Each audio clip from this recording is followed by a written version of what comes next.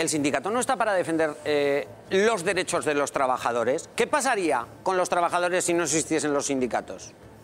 Bueno, a ver, eh, efectivamente, los sindicatos surgieron cuando los trabajadores que se movían hacia las ciudades, hacia las empresas, adquirieron una concienciación de que son una clase social, la clase trabajadora, eh, frente a la clase burguesa o la clase que ostentaba los medios de producción. Independientemente de ideologías políticas, existían todos los trabajadores como una conciencia de eh, trabajadores, de clase, clase trabajadora. Eh, por lo tanto, yo creo que eh, la, representación de los trabajadores, sea a través de sindicatos o como lo llamemos, o como el movimiento que pueda surgir, tendría que...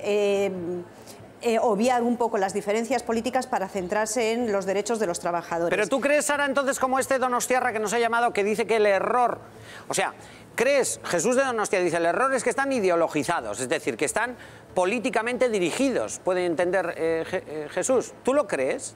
Es que, a ver, eh, iba a ello, que sobre el documento que, que, veníamos hablando y que yo creo que tiene mucha relación con esto, yo sigo manifestando mi incredulidad porque creo que con FEBASC tiene más, va de unas miras más allá, en el que un documento como tal no va a ningún lado, realmente no va a ningún lado, por lo que digo, por la libertad sindical, derecho constitucional, una defensa, una protección constitucional al derecho de la libertad sindical, de crear sindicatos. Con ese documento, con FEBASC, no iría a ningún lado. Entonces, para mí, de primeras, mi incredulidad a que hayan creado ese, ese documento. Aún así, de haberlo creado, la pataleta de pues ahora no me siento, me parece que es dejar colgados a los intereses de aquellos trabajadores que, debería, que deberían defender. Tiene una opción de sentarse frente a la patronal y decir, a ver, ¿de qué va todo esto? Vamos a sentar, vamos a hablar y vamos a aclarar las cosas, porque hablando es como se aclaran las cosas. Y si hay que ponerse, plantarse y decir, vamos a ver, ¿estos sois vosotros? No, no, pues vale, no, pasamos al siguiente paso. Vamos a ver y vamos a hablar de los trabajadores es, lo, es la función que tienen que hacer los sindicatos. Largarse, coger una pataleta y largarse es eh, pasar de, o no defender los intereses de las personas a las que representan. Bien, eh, Sara, un momentito. Volvemos a tener problemas con el pinganillo de nuestros compañeros que están en Bilbao. Sara, te voy a dar tiempo, un momentito, eh. cuidado con el micro. Ponte eh, los dos pinganillos así. Estamos en directo, son las 5 y 27 minutos y no hay que tener ningún apuro porque pasen estas cosas. Eh. Lo digo, Sara, tú tranquila, que se te cae el pinganillo, dices, oye, que se me ha caído el pinganillo. Yo quiero hablar de, lo que se, de la importancia que tiene que gobierno vasco, sindicatos y patronal se sienten en esa mesa. ¿Sabes cuál es el contenido ¿Podemos de la explicar a la gente qué es la mesa de diálogo social y por qué es tan importante, por cierto, es la primera de la legislatura. Sí, pero te voy a decir, claro, pues porque ha habido, eh, de todas formas, vuelvo a insistir lo mismo, a mí todavía nadie me ha explicado, vuelvo a la pregunta del principio, ¿por qué sí en Madrid y no en Euskadi? Es decir, por parte del gobierno vasco ha habido intentos mil. Y yo voy a decir dos cosas fundamentales de la reunión esa del jueves que yo creo que son estratégicas y prioritarias para la sociedad vasca. En esa mesa, el jueves hay dos temas que a mí me parecen fundamentales que se iban a tratar. Esquemáticamente que me los puedes decir. Sí, estrategia vasca de empleo y fomentar el empleo juvenil. Estrategia vasca, estrategia vasca de empleo, eh, A, nivel general y otra que es fundamental, que estamos todo el día hablando de, de, la gente joven que no tiene empleo. Bueno, pues era fomentar el empleo juvenil. Ahí hace falta concitar acuerdos amplios. Yo no entiendo todavía por qué una vez más el AILAP Sí lo entiendo, pues porque sé que hay una estrategia sindical. No, no lo, han explicado. Es por este Sigue documento. habiendo, no, no es por ese documento. Bueno, yo me remito. Bueno, pues a yo me remito. Mira, el comunicado. efectivamente, efectivamente. A ver, a ver, a ver, a ver, a ver. Dice, repito, el comunicado que hoy mismo conjuntamente han sacado el AILAP dice lo siguiente: el Gobierno vasco convoca a la mesa de diálogo social sin que Confebas se explique el origen del documento ni su contenido. El polémico documento. ¿Recuerdas unas palabras eh, de Chiqui Muñoz hace unos meses. No me acuerdo textualmente cómo eran, pero efectivamente era. Desde luego, desde el sindicato ELA no se iba a hacer ni esto, pero ni esto, ¿eh? ¿Estás diciendo que están boicoteando? Yo lo he dicho y lo mantengo, sí. Aquí hay una estrategia política eh. desde el inicio de la legislatura y se ha visto en mesas sectoriales concretas, la de la función pública es auténticamente vergüenza, las huelgas que tenemos en Osakidecha, etc, etc. No hay ¿Entendida cuál es tu posición? ¿David tiene la misma? Absolutamente. Me gustaría que hablases con ella. Bueno, pero antes me gustaría aclarar unas cosas que ha dicho Sara, a ver. con las que estoy totalmente en desacuerdo. Porque si, los sindicatos. Bueno, para empezar, hay sindicatos y centrales sindicales, son cosas distintas. ¿eh? Es muy curioso que en el Estado español los dos presidentes de la COE estén en el talego, o por lo menos para ir a la cárcel, por corruptos. Si los dos presidentes son unos corruptos, vamos a pensar lo que hay detrás. También los sindicatos. No hablo de lo que me da la gana. También los sindicatos, ¿eh? también los sindicatos eh, UGT y Comisiones Obreras, que son centrales sindicales, no sindicatos, están vinculados a las tramas de corrupción. Y lo que he dicho antes, quizá las tramas de corrupción tendrían que llevarnos a pensar en la disolución, porque ha dicho Sara una cosa muy interesante antes, ha dicho, eh, ahí si una central, central sindical eh, tiene una actividad ilegal, quizás se pudiera valorar su ilegalización. Pues igual tendrían que pensar en ilegalizar UGT y comisiones, entre otros. Pero ahora vamos a ver, a ver. Entonces, las que se los sindicatos no van a... los sindicatos... Una cosa, una cosa. ¿Tú estás de acuerdo con esta teoría que ha afirmado Ainhoa Boicochea de que estos, eh, sí, estos sindicatos se han dedicado a boicotear la mesa de diálogo social? No, estos sindicatos lo que están es eh, cansados de teatros. Es, es verdad, porque la mesa, la mesa del diálogo social es un teatro para empezar, porque estamos hablando que los sindicatos no tienen que estar ideologizados ¿Y Confebasque está ideologizada? ¿Cuál es la posición de Confebasque ante la reforma laboral? ¿Cuál ha sido la, posición de Confebasque ante el saqueo social de, los eh, entramados financieros? Es que me hace mucha gracia que estemos siempre hablando de los sindicatos en esa clave. Yo no te he interrumpido ni una vez, no. Pero bueno, has hecho preguntas. Lo que tengo claro es una cosa. Yo pienso que los sindicatos, eh, y que creo que además son criticables, eh, porque yo critico a ELA y LAB por su excesiva condescendencia en los últimos años con este sistema. Porque, eh, Sara, perdona, los sindicatos no solo tienen que representar a la clase trabajadora, los sindicatos también tienen que activarse eh, en defender los derechos de la clase trabajadora cambiando el sistema. Por lo tanto, quizá tuvieran que ser revolucionarios. Ese es el gran problema. Por eso, me voy a Bilbao. No, no, me voy a Bilbao. Me, vais a permitir, Sara. ¿Estás de acuerdo con lo que ha lanzado Gavirel? A ver, yo lo que he dicho antes es que... Ha contestado Ainhoa, perdóname, contesta Sara. Que, ilegalizar un sindicato sería una cosa tremendamente seria y que dudo mucho que Confebasc eh, haya hecho un documento así tan vamos, lo dudo, no tengo vinculación de ningún tipo, un documento que sabe que no va, un documento pidiendo la ilegalización de un sindicato que sabe que no va a ir a ningún sitio. Por lo tanto, no me parece, o sea, de hacerlo sería una cosa muy seria, pero también me parece igualmente serio que un sindicato, sin decir sea el que sea el sindicato, de verdad, sin decir de dónde viene ese documento, si es real o no, o comprobar su autenticidad o veracidad o no, se niegue a sentarse para hablar de los problemas de los trabajadores o, como dice el compañero, de los problemas de la sociedad o de los problemas económicos sociales que afectan a la sociedad. Pero no olvidemos, un sindicato tiene que representar los intereses de los trabajadores.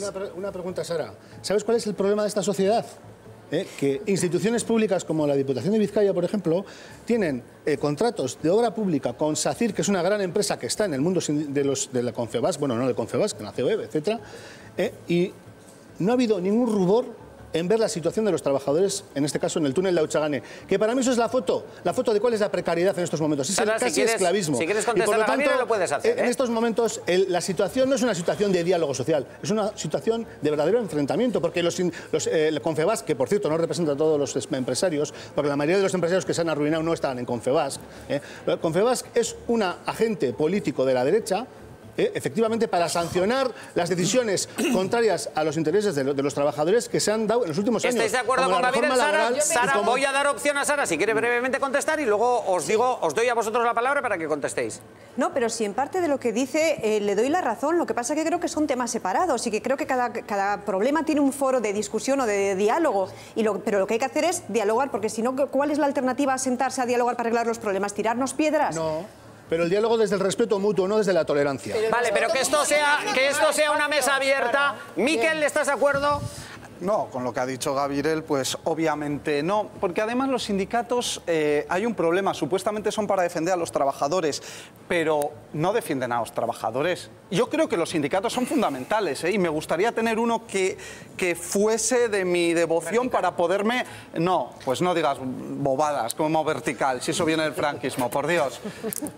Me gustaría tener un sindicato con el que me sienta identificado y me defienda, porque los sindicatos defienden a sus sindicados y a algunos de sus sindicados y a los parados no defiende. Porque ahora es cuando deben de sentarse a hablar, porque si algo falla... ¿eh? Los parados los defienden No, no, no, pero, pero es que has dicho... A ver, a ver, si he oído bien, permitidme, porque me están entrando algunas llamadas que, por cierto, nos vamos a ir a Santurci, me voy a Santurci y luego me aclaras lo que has dicho eh, y luego tengo una llamada de un sindicalista que tiene algo que decirle a Ainhoa. Eh, me voy a Santurci, María Luisa, a León. Ah, para León. Entras en el debate, te escuchamos. Bueno, yo quiero decirle a Ainhoa que se le ve mucho el plumero y que, hombre, que no defienda tanto al gobierno, porque en este caso hay... Eh, hay que ser un poco, a ver, estoy un poquito nerviosa, ¿eh? quiero expresarme bien. Yo lo que yo voy a lanzar eh, mi opinión a favor de los sindicatos y decirle a Ainhoa que aquí tenemos que agradecer que las condiciones sociales y laborales que disfrutamos los trabajadores en el País Vasco son diferentes a las de Badajoz, porque aquí ha habido dos sindicatos reivindicativos de clase, como son el AILA. Entonces, no podemos comparar, hay que leer y hay que informarse. Hay que ver lo que propulga cada sindicato, ¿eh? Y yo en este caso defiendo a ELA, que tiene independencia sindical. Critica absolutamente a todos los partidos de todos los colores. No tiene ningún partido político que le guíe defiende a los trabajadores y tiene broncas con todos los partidos políticos porque, porque, porque se trata de defender a los trabajadores independientemente de quién esté en el gobierno vasco. María Luisa, momento, le vamos a dar opción, os pido brevedad a las dos. Ainhoa, por favor, breve. Muy rapiditas. Eh, recordarle que me gustaría a ELA y a LAP oírles, por ejemplo, de las actuaciones que ha tenido EH Bildu a la Diputación de Guipúzcoa con el tema de descarga, igual que ese con otros muchos. Y no simplemente en Euskadi estamos mejor por los sindicatos, en Euskadi estamos mejor porque el sector empresarial no tiene absolutamente nada que ver en Euskadi estamos mejor porque los gobiernos vascos de los colores que han sido han tenido una cosa clara, que era fundamental concitar acuerdos, porque en Euskadi el voto ha estado muy atomizado. Y desde luego hay una cosa fundamental, que desde luego es muy difícil acordar si alguien se niega a dialogar. Entonces, por favor, justo a cada uno lo que María Luisa, y yo, María Luisa, María Luisa, te le toca ahora María Luisa, Ainhoa, no Ainhoa. pero una cosa solamente María Ainhoa, un momento, por favor, a la vez nos entiende. María eh, Luisa, es tu turno. Estamos de acuerdo, Ainhoa, pero da la casualidad de que ahora, ¿qué pasa? ¿Que los empresarios son todos ONGs o están para una labor social? No, yo no he dicho, María Luisa. Aquí ningún convenio María ha caído Luisa, del cielo. yo no he dicho eso. Un momento, deja, te voy a dar la... Ningún convenio ha caído del cielo. Los convenios se han peleado María y se Luisa. negocian. Y ELA, la última, el último acuerdo que ha hecho ha sido firmado en la Función Pública, en Mesa General del 2011, y el Gobierno está incumpliendo ese acuerdo. O sea que él ha conseguido acuerdos en el comercio, ha conseguido acuerdos en las residencias de Vizcaya, y no se diga que ELA nunca firma ningún convenio. Hay que defender a los sindicatos. Lo que no, puede, lo que no se puede volver es a la época del feudalismo. Los sindicatos, con sus miserias, porque es una parte más de la sociedad, igual que tenemos miserias en la familia, en los amigos, en los compañeros de trabajo, el sindicato no es la Virgen de Lourdes, pero los sindicatos hacen una función primordial y es velar para que no nos esclavicen ni volvamos a la época del feudalismo. María Luisa, es que ricasco. Un momento, un momento. Ay, no, tú tienes más tiempo luego de... Los logros de, esta historia. María Luisa. Sí. Es, que ricasco. Solo corto, corto. Un momento, un momento. Es que ricasco, María Luisa. Suri. Bien. A ver, que intentáis, y tú sé que lo entiendes porque conoces muy bien la dinámica de aquí. Vosotros tenéis más tiempo, por eso hay un tiempo limitado para las llamadas. Eh, lo que estaba planteando. Bien, pero es que ha dicho una cosa, es que aquí se nos olvidan un montón de cosas. María Luisa, vamos a ver, el tema de la función pública, se os olvida que había un decreto del gobierno español que entraba eh, automáticamente en todo lo que era la función pública vasca. El decreto era ley orgánica del señor Mariano Rajoy, donde se obligaba a la función pública a meter muchísimas más horas y a bajar los salarios. En Euskadi lo que se ha hecho es desde, desde el minuto uno ha sido intentar buscar una vía del medio, porque las leyes orgánicas son de obligado cumplimiento. Eh, un momentito, tengo, tengo por no focalizar todo en Ainhoa, hay una llamada de un sindicalista del AP que luego se la voy a trasladar a Ainhoa. Recordadme, ¿eh? que tengo un mensaje de un sindicalista del AP que quiere hacer... Bueno, luego te lo cuento. Tú has dado un titular y has dicho que los sindicatos, no, defienden a, los, trabajadores, defienden a sus afiliados y en absoluto a los trabajadores en paro. Porque toca la puerta a un sindicato cuando estás en el paro y si, no estás afiliado. Ya sé yo dónde te mandan. Y sobre esto quería decir que es fundamental que pues los sindicatos se sientan a negociar porque en este país, en Euskadi, en Euskal Herria, en España, hay algo que no funciona, que son las políticas activas de empleo. Que en otros países como Holanda, como Alemania, funcionan realmente. Las personas, si llegan al paro, eh, si no les encuentran empleo en dos o tres semanas, se pasan a las forman durante tres, seis meses y luego cuando vuelven, pero aquí el los sindicatos hacen cursos de formación. nada, pero, son los sindicatos hacen los cursos, de, formación. de los sindicatos y de, están para eso y de Ambide no son nada buenos. Y dicho esto, es fundamental no, dicho que esto, se sienten... Dicho esto, paso a Alfredo, que hace un rato que ha pedido la palabra. Gracias, gracias. Un momento, vuelvo. Yo quería nada más que defender a los sindicatos españoles. Porque aquí parece que, que los sindicatos vascos son la maravilla hindú y habéis, y habéis atacado, aquí están también y habéis atacado a las centrales ¿eh? sindicales. Que están sentando, bueno, ¿eh? déjame, en también, mesas, déjame que sea Alfredo, muy breve.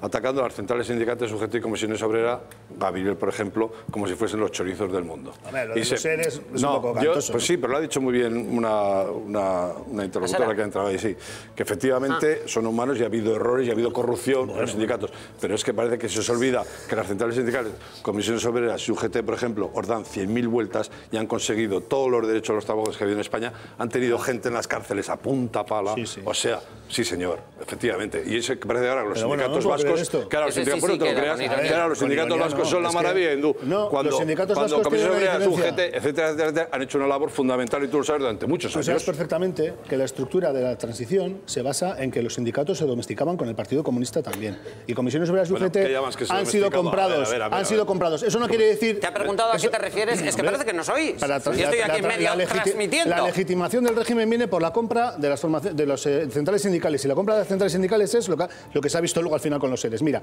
aquí... bueno, ¿qué tiene que ver no, no, no, tiene mucho que ver, porque una cosa es corrupción, una cosa es corrupción de una persona, de un sindicalista o de un político, y otra cosa es corrupción estructural. Ah, la corrupción, estructural, estructural y UGT. ¿eh? ¿Tiene corrupción pues estructural? en muchos casos se podría decir que sí, porque no hay más que mirar ¿eh? todos los procedimientos que está habiendo. Mira, yo solo te voy a decir una cosa. Hay un procedimiento de los seres. En el Estado español hay muchos más sindicatos.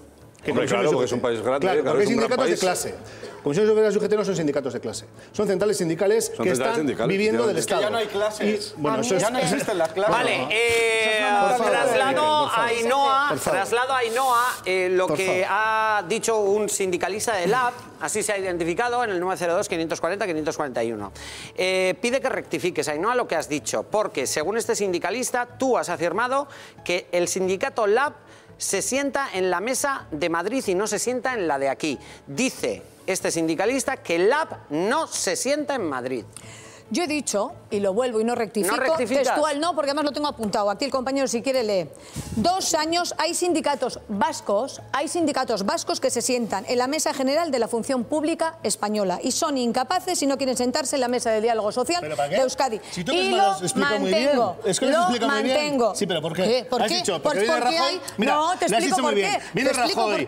Viene Rajoy. No, no, no, no. Dice que es así y el gobierno vasco no tiene capacidad de decir lo contrario. ¿Pero qué estás diciendo? Mira, ¿sabes es un teatro, es un teatro es un problema de soberanía, es como con la Cuchaban, como todo, es un eh, problema de soberanía. nada más. No, Sara Layana, Bilbao, Sara Layana, Sara Layana. Congelados por el gobierno español. Sara, ¿Y qué han hecho efectivos en Euskadi? Sara, momento bat. Ah, no es verdad, no, no es verdad, eh, Gabriel. Eh, Sara, esto levanta, como ves, pasiones, lógicamente, y está levantando mucho, mucha expectación.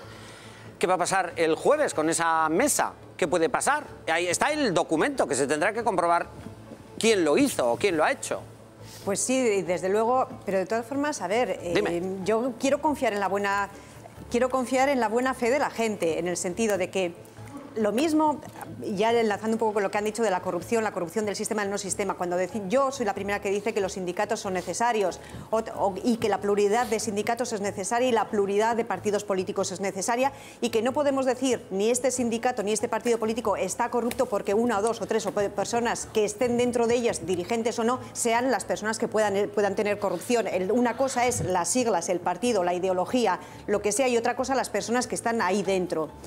Eh, yo quiero en la, buena fe, de todos y quiero pensar que los que se sientan a negociar tienen detrás una ideología clara, que es fomentar eh, la creación de empleo, fomentar la creación de empleo en aquellas clases o en aquellos sectores sociales más desfavorecidos. Como han dicho antes, eh, los temas propuestos son realmente interesantes, son la estrategia vasca de empleo y el empleo juvenil, formar o fomentar este, este empleo, fomentar el empleo en cualquier caso. Y creo que son unos bienes realmente en los que creo que pasando de, de ideología política, creo que el fomentar la creación de empleo y fomentar la creación de empleo juvenil, creo que va más, creo que es un interés común de la ideología que sea y creo que deberían de sentarse de buena fe para negociar para estos fines. Un momento, aquí la gente reacciona, hay opiniones diferentes, pero eh, prometemos seguir con este tema y además estaremos muy atentos a la convocatoria de esa mesa y qué es lo que ocurre con esta polémica del documento. Eh, Sara, un abrazo. Gracias, igualmente. Un abrazo.